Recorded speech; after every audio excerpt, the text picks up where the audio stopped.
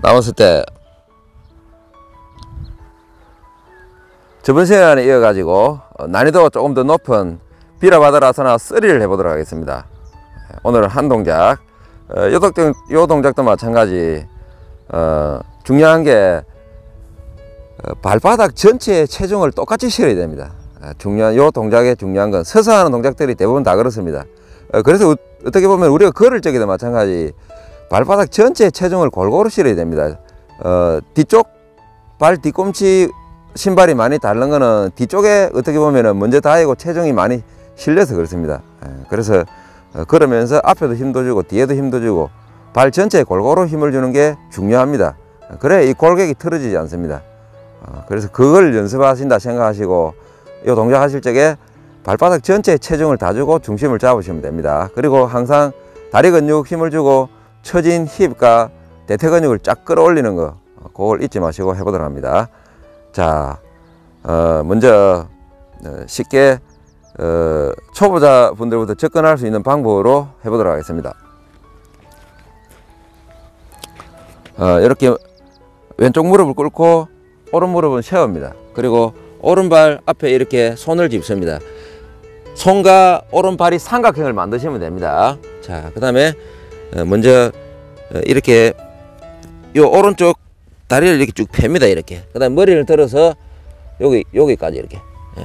초보자분들은 여기까지만 하셔도 상관없습니다. 아, 요게 잘 되고 나면 다음에 하나하나씩 하면 됩니다. 다리를 쫙 펴고 자, 그 다음에 반대쪽 다리는 이렇게 듭니다 이렇게.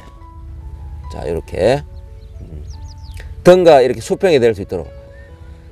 어, 요때 오른 발바닥 전체로 중심을 잡으시라는 겁니다. 예.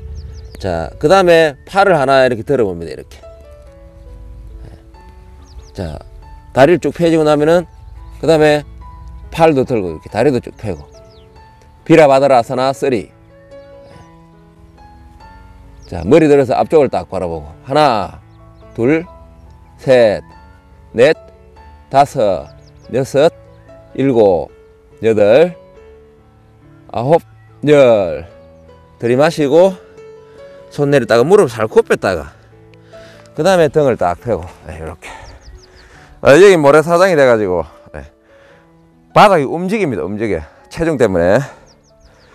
자 가슴 내미시고 숨 고르고. 음, 항상 호흡은 코로 들이마시고 코로 내쉬면서 아주 천천히 호흡이 너무 급하면 내쉴 적에는 입을 하셔야 됩니다. 자그 다음 또 방향을 또 바꾸셔 가지고 반대쪽 발 마찬가지입니다. 네. 반대쪽 역시 삼각형을 만듭니다. 발 앞에 이렇게 먼저 만들고 무릎 굽혔다가 무릎을 쭉 펴고 자그 다음에 무릎 펴고 난 다음에 다리를 하나 이렇게 들고 네. 이때 엉덩이가 너무 이렇게 돌아가 버리면 안 됩니다. 골반이 돌아가면 안 되고 엉덩이 높이를 나란하게 하신 다음에 이렇게 그 다음에 앞을 보고 팔을 하나 먼저 들고 그 다음에 이렇게 둘을 다 들어 올리면 됩니다. 이렇게. 중심 잡고 역시 하나, 둘, 셋, 넷, 다섯, 여섯, 일곱, 여덟, 아홉, 열. 들이마시고 손 내리고 무릎 잘 굽혔다가 무릎 굽히면서 허리에 부담이 되지 않도록 다리 힘으로 넓적 다리 힘으로 이렇게. 앞을 보고 머리 뒤로 점프하시고. 자 오늘 여기까지 어, 이 스사하는 비라 바드라서나 쓰리를 했습니다.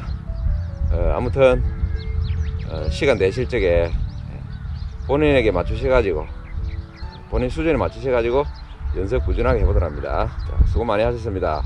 남은 스테이지